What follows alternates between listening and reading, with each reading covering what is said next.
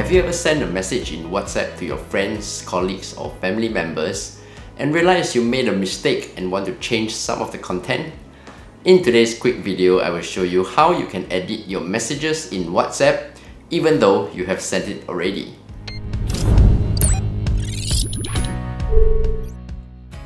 In your WhatsApp messages, tap and hold the message that you have sent. You will see a list of options that pop up and you can tap on Edit. Here you can change the message that you want to send and once you are done, you can tap on the green arrow again to send it. You can see the message that has been edited to the new one and there's a small note at the bottom to say that it has been edited right beside the timestamp. Do take note that the option for editing messages is only valid for up to 15 minutes after you have sent the message. You will not be able to edit the message if it has been sent more than 15 minutes ago. I hope you found this video easy to understand. If you like more of such quick and easy to learn tutorial videos, don't forget to subscribe to my channel. Until the next video, I'm Steph, take care and bye bye.